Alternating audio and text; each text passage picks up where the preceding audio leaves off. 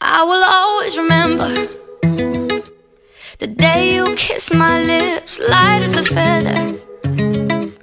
And it went just like this. No, it's never been better than the summer of 2002. Mm. We were only 11, but acting like.